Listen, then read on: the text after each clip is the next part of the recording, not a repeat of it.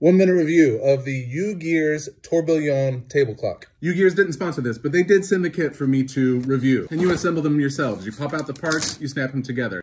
Pros, they have really cool design aesthetic. I like the way they make stuff look. They do a really great job of cutting the stuff. Everything's popped out beautifully and didn't break. And their manual is fantastic. Cons, well, this really probably isn't their fault, but mine really doesn't work. Probably because I was very impatient, didn't sand parts well enough or wax them well enough. Another con, the price. It's like 80 bucks. Final thoughts? It was really fun to assemble, but if you're impatient like me and maybe won't do the, the fine detail work needed to make this operate properly, get one of the kits that doesn't have a clock mechanism in it, you know, so maybe one of the ones that drives on the ground or something like that. Might be a little easier for you to build and you'll be happier with your results. All in all, I'd say awesome company, awesome products. Go to MakeZine.com and subscribe to Make Magazine.